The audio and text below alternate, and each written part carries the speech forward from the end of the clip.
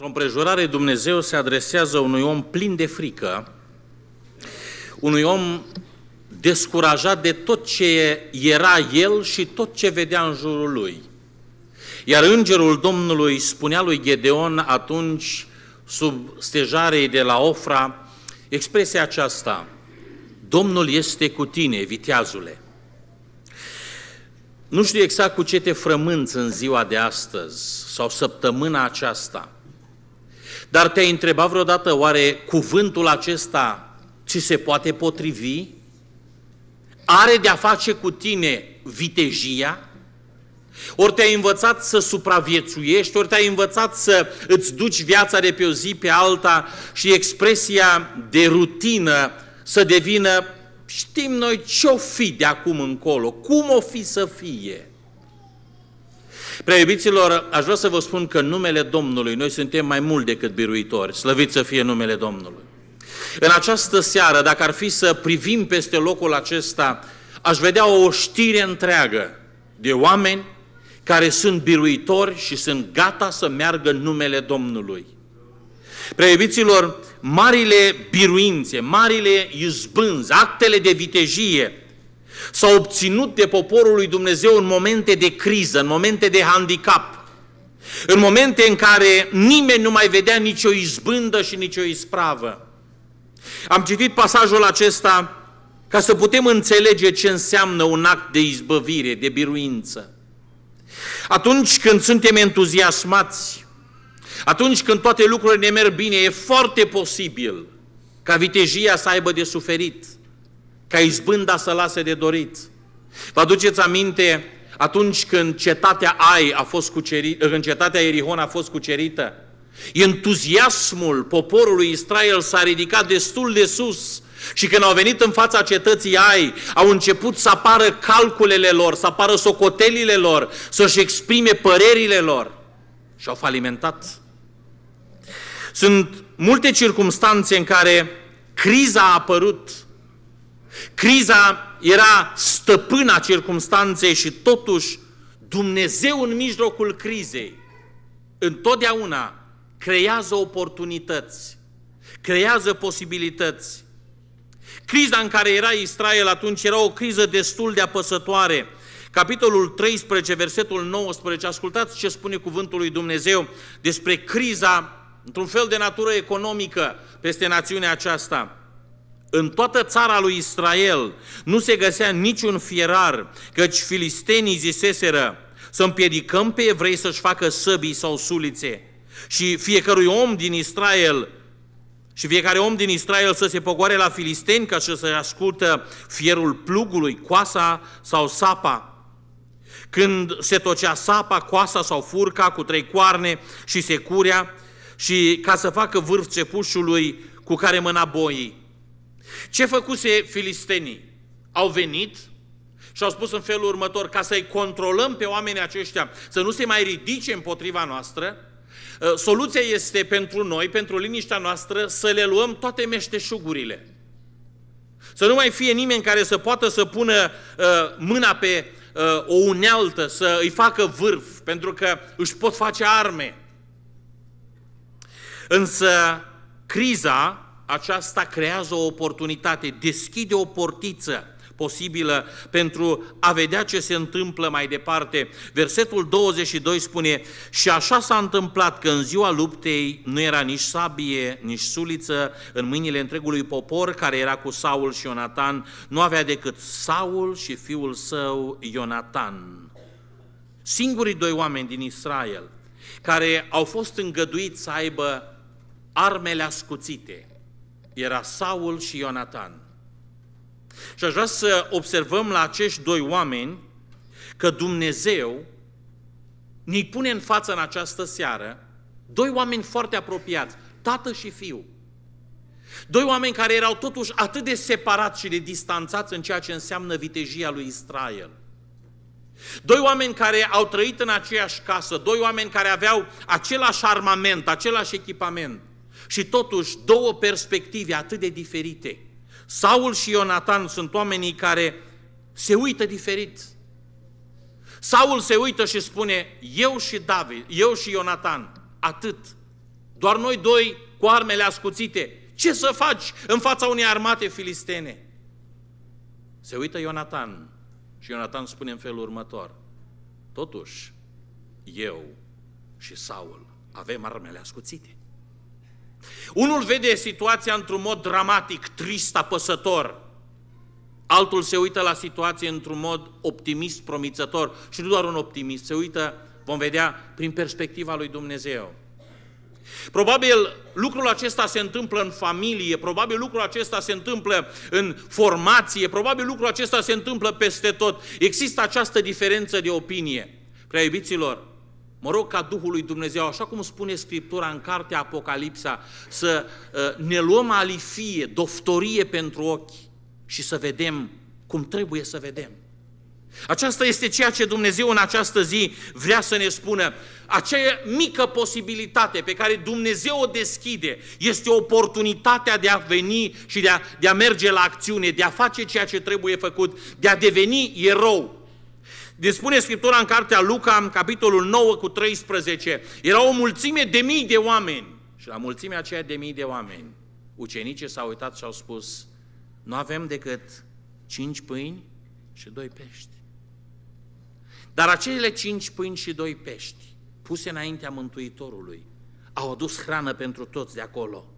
Un împărat 17 cu 12, o femeie spunea, n-am decât puțină făină și puțin un de lemn. Iar aceasta s-a transformat într-un belșug, pentru că cineva a știut să se uite diferit la ea. Un împărat 19 cu 10, Ilie spune, am rămas eu singur. Și Dumnezeu îi spune, tu singur mai ai de făcut lucrări pentru Dumnezeu.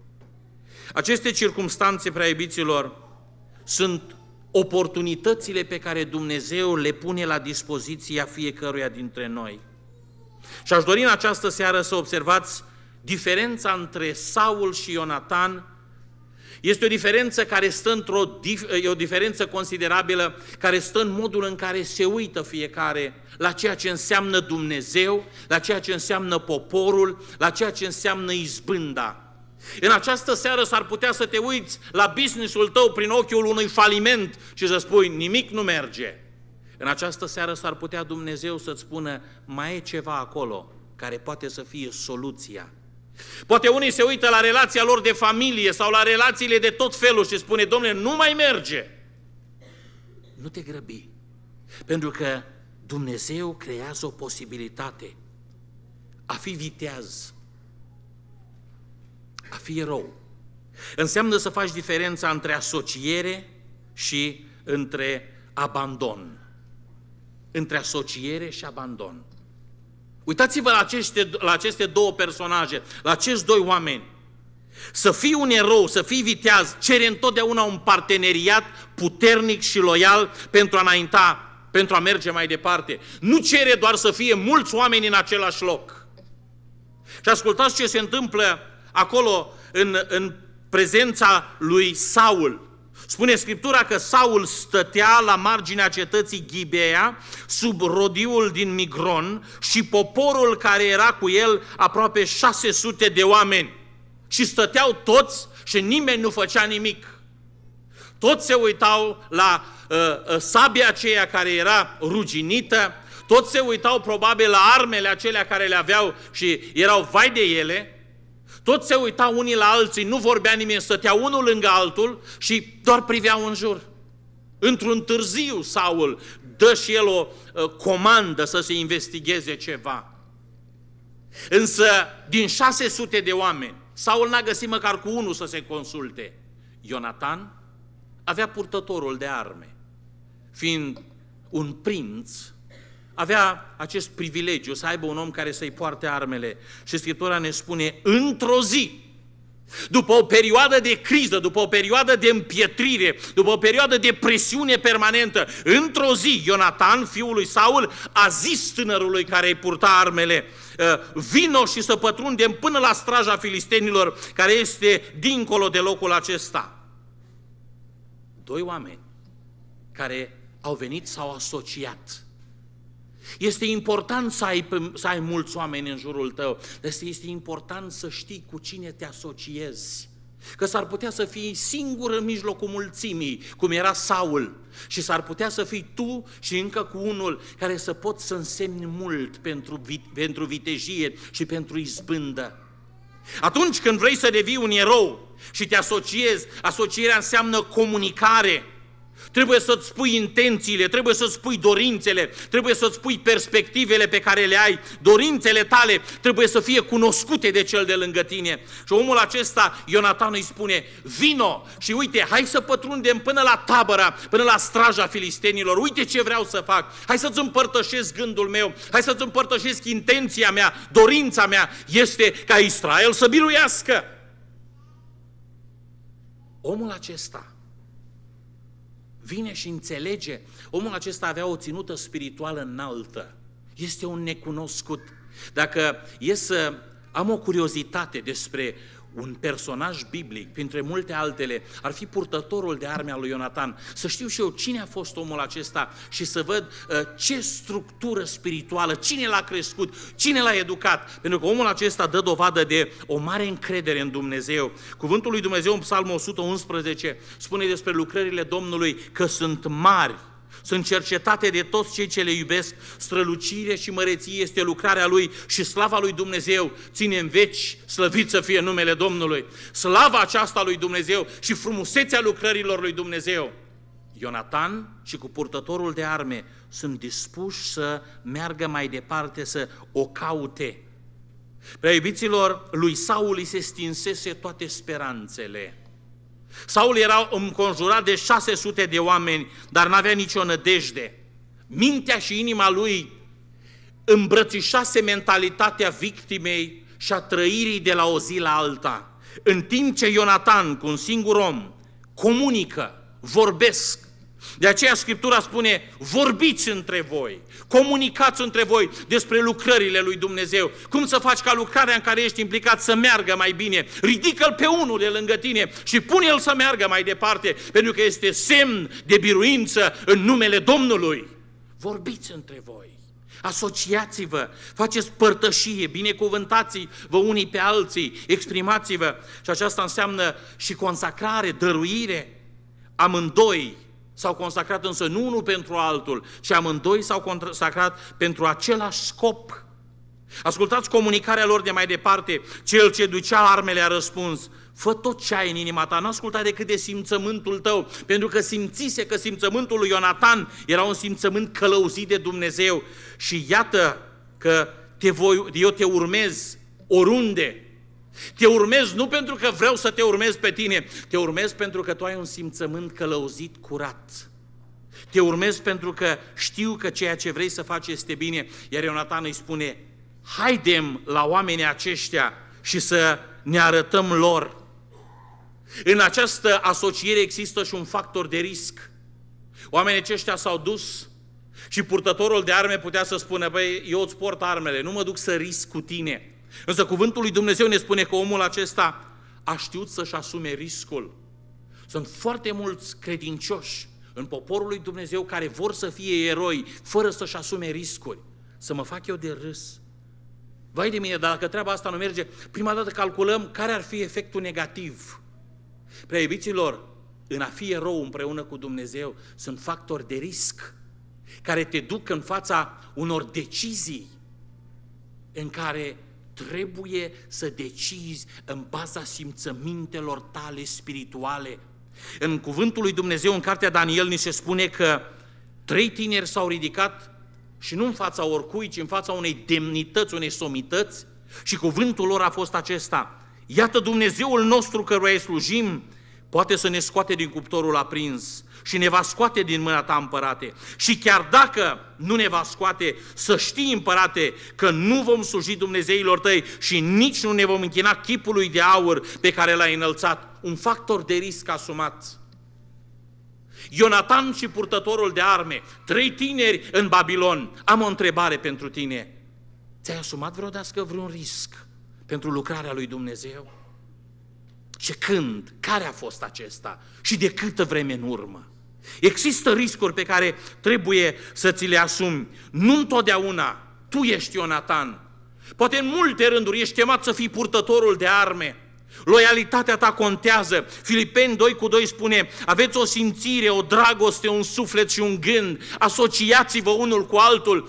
Lăsați simțămintele să se unească. Lăsați călăuzirea lui Dumnezeu să fie împreună. Spune cuvântul lui Dumnezeu și Ionatan s-a suit ajutându-se cu mâinile și picioarele și din urma lui, tot cu mâinile și picioarele, urcau versantul muntelui împreună, unul după celălalt, târându-se pentru că asocierea lor, părtășia lor, era binecuvântată de prezența lui Dumnezeu. Domnul Iisus Hristos, când a trimis ucenicii, a trimis doi câte doi. Posibilitatea de a te asocia. Am o întrebare, în afara singurătății tale, care este partenerul tău de slujire cel mai apropiat? Cu cine îți împărtășești inima? Cu cine îți împărtășești dorințele? Cine este cel care este omul confidenței tale? Mă rog ca Duhul lui Dumnezeu să ne unească în lanțul dragostei sale și să ne pună prea iubiților în această pornire a dorinței de a fi biruitori în numele Domnului.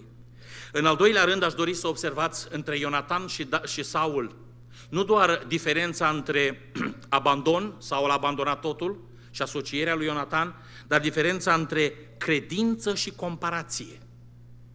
Credință și comparație. Ionatan a zis tânărului care îi purta armele, vino și să pătundem până la straja, ascultați bine, acestor netăiați împrejur. Poate că Domnul va lucra pentru noi, căci nimic nu împiedică pe Domnul să dea izbăvire printr-un mic număr ca și printr-un mare număr. Există, prea iubiților, o perspectivă umană la care uh, uh, trebuie să uh, îl, îl observăm pe Saul cum o ia foarte în amănunt. Saul se uită și din punct de vedere militar, aș vrea să vă spun că în condițiile acelea, cu adevărat, nu se mai putea face nimic. Din punct de vedere omenesc, toate lucrurile rămâneau într-o nesiguranță. Cu doi oameni care aveau armele pregătite pentru război, prea mult lucru nu se putea face. Filistenii aveau o armată bine dotată. Spune cuvântul lui Dumnezeu, filistenii s-au strâns să lupte cu Israel. Aveau o mie de cară și șase mii de călăreți și poporul acesta era fără număr, ca nisipul de pe țărmul mării. Uh, au venit și au tăbărât la Micmaș, la răsărit de Betaven. S-au întins pentru luptă, s-au pregătit pentru război.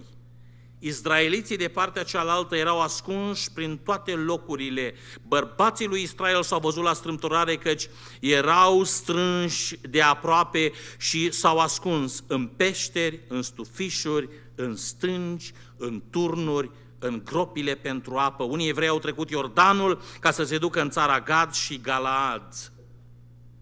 Oameni care prea analizează Oameni care dacă fac o donație își calculează salariul pe luna asta, salariul pe luna aia altă, salariul pe luna cealaltă, își calculează alte socoteri și la urmă își dă seama că nu poate să ajute. Oameni care se pierd în calculele omenești, oameni care sunt prea detaliați din, datorită lipsei de spiritualitate, oameni care au o perspectivă umană prea concentrată în jurul lor, oameni care au o perspectivă umană și pentru ei nimic nu se poate face. Nu se poate mișca un pai pentru că nu se poate, fraților, dar n-avem, dar nu se poate, nu merge. Prea iubiților, Apostolul Pavel spunea, pot cât? Pot totul în Hristos care mă întărește, slăvit să fie numele Domnului. Contează perspectiva. Contează perspectiva. Atunci când oamenii rămân la prea mult la comparații, la calcule, la socoteli, există un lucru sigur, se vor împotmoli. Dar atunci când există o perspectivă divină, când oamenii se uită prin credință mai departe, această perspectivă te face să te uiți la criză. Și aș vrea să vă spun că nici Ionatan și nici purtătorul de arme nu erau lipsiți de simțul realității. Dar peste realitatea aceea dramatică au așezat numele Domnului. Lângă Saul, de fapt, au fost întotdeauna oameni care au fost mai credincioși decât el. Aici îl găsim pe Ionatan, dar îl găsim mai târziu pe David, care era și el un om al credinței și cuvântul lui Dumnezeu spunea uh, uh, despre acest om al lui Dumnezeu că David era la rândul lui un tânăr care vedea în filisteni, ascultați bine, niște netăiați împrejur. Oamenii aceștia nu se uitau la armata filisteană. Oamenii aceștia nu se uitau la desfășurarea lor de luptă. Deși o vedeau, nu erau lipsiți de realitate, dar oamenii aceștia se uitau la aceasta prin perspectiva lui Dumnezeu, prin ochii credinței. Oamenii aceștia vedeau în filisteni niște oameni care erau sub blestemul lui Dumnezeu. Niște oameni care purtau această etichetă de netăiați împrejur. Saul a făcut prea multe comparații, prea multe calcule, prea multe socoteli, în timp ce oamenii aceștia au mers mai departe. Ionatan a avut încredere în caracterul lui Dumnezeu, spunând în felul următor, căci nimic nu îl împiedică pe Dumnezeu să dea o izbăvire printr-un mare număr sau printr-un mic număr. Nu la ei s-au uitat. Și nu numărătoarea, și nu calculele au fost cele care au dominat raționamentul lui Ionatan, ci credința în Dumnezeu. Prea iubiților, avem un Dumnezeu mare, slăvit să fie numele Domnului. Cel de-al treilea și ultimul lucru spre care aș vrea să vorbesc este o diferență considerabilă în eroismul, în vitejia unui credincios, între echilibru și excentric.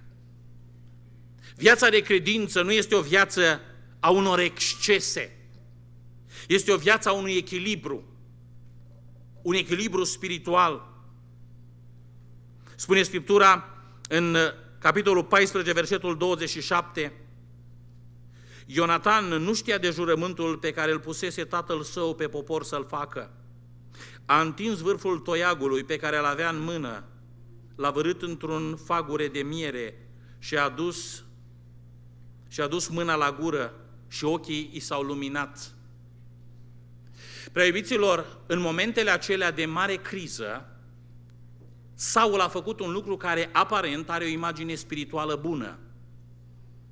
Saul a legat poporul prin jurământ în zi de jertfă, în zi de post. Aș vrea să fiu înțeles corect. Poporul lui Dumnezeu trebuie să postească. Poporul lui Dumnezeu trebuie să se roage. Poporul lui Dumnezeu trebuie să stăruiască. Dar sunt toate rânduite la vremea lor.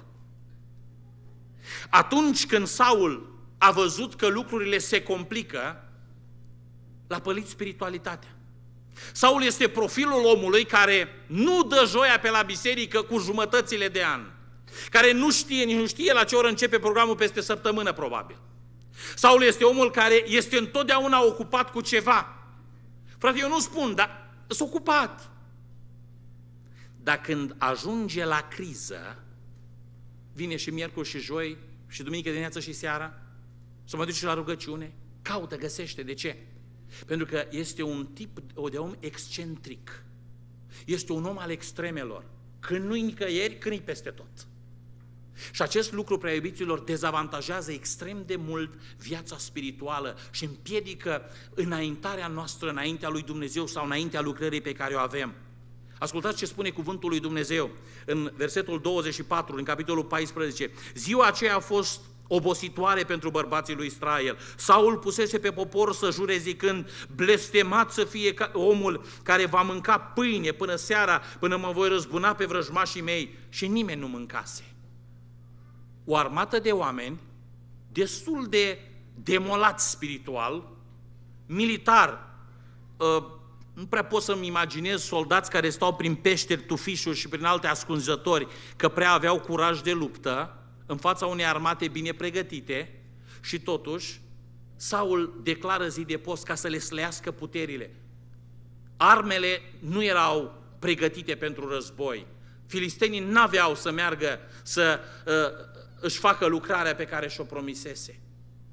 Este o experiență dramatică a unui excentrism. Echilibrul însă este dovedit de omul lui Dumnezeu, de, de, de Ionatan, se duce și spune în felul următor, Tatăl meu tulbură poporul. Vedeți, dar cum mi-au s-au luminat ochii pentru că am gustat puțin din mierea aceasta? Negreșit dacă poporul ar fi mâncat azi din prada pe care a găsit-o la vrăjmașii lui, n-ar fi fost înfrângerea filistenilor mai mare? Întrebarea este retorică și răspunsul este ba da. Pentru că, prea iubiților, s-ar putea să ne încurcăm în rânduielile pe care ni le stabilim și rânduielile noastre neînțelepte, repet, neînțelepte, făcute din anumite entuziasme de excentrism, să frâneze lucrarea lui Dumnezeu. Iar Ionatan este un om echilibrat, spune, domnule, este logic ca un soldat care luptă, ăsta trebuie să fie hrănit bine, să aibă energie, să poată lupta și mai ales niște arme care nu erau ascuțite, să poată să înjunghe vrăjmașul, era nevoie de o putere mai mare. Iată că Ionatan este un om al echilibrului, care dă dovadă de spiritualitate. Saul, la un moment dat, este un om care îl pălește spiritualitatea excentrică. N-a făcut rău că s-a închinat. Ba din contra, zidise și un altar Domnului. El, pentru care uh, n-avea nimic de a face și cu Dumnezeu, era un om al neascultării. Știți de ce? Pentru că așa cum a intrat groaza lui Dumnezeu în Filisteni și spune Scriptura că era groaza Domnului acolo, groaza aceea l-a prins și pe Saul, pentru că Saul era un om al extremelor. Prea iubiților, mă rog ca Duhul lui Dumnezeu să binecuvinteze poporul său cu înțelepciune. Sunt lucruri, sunt decizii care trebuie să țină de călăuzirea lui Dumnezeu. Ionatan s-a uitat nu doar într-un mod pragmatic, s-a uitat într-un mod călăuzit la situație. Și a știut că dacă știe să se stăpânească, dacă știe să facă ceea ce este de făcut din partea lui, biruința este mai mare Prea iubiților, simțământul acesta este un simțământ care aș vrea să-l așeze Dumnezeu în inima poporului de la Elim. Avem, prea iubiților, nevoie de o biruință mai mare înaintea Domnului. Am biruit până acum. Ne-am ridicat înaintea Domnului, ne-am ridicat în numele Domnului. Poporul poate să aibă o biruință mai mare. Crezi lucrul acesta? Dumnezeu este Cel care dă biruința. Domnul stă în fruntea oastei Lui, spune versul unei cântări.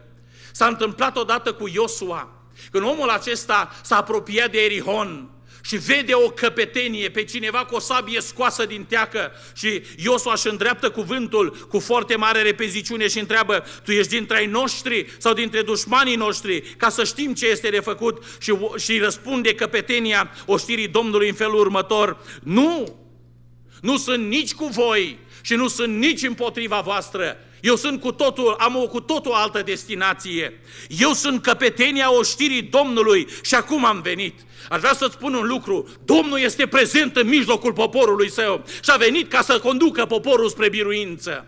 Te invit să te ridici în picioare înaintea lui Dumnezeu. Haideți să cântăm din cântarea aceasta. Domnul stă în fruntea oastei lui. În fruntea ta nu stă o ființă umană mai capabilă sau mai puțin capabilă. În fruntea ta nu stă o ființă care doar uh, are o abilitate oarecare de a conduce o lucrare. Înaintea noastră a tuturor, fie că e Iosua, fie că e căpetenie de o mie sau de o sută, înaintea noastră a tuturor stă un biruitor, numele Lui este Domnul, slăvit să fie numele Domnului. Poporul lui Dumnezeu are biruință, pentru că în fruntea oastei stă Domnul, binecuvântat să fie numele.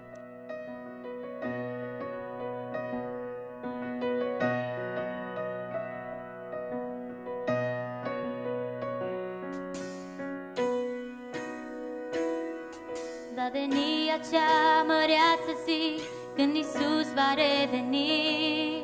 Când pe nod de slavă va apărea să-și ia ai săi copii. Și cu teamă în suflet Văd cum pe ceruri zorile apar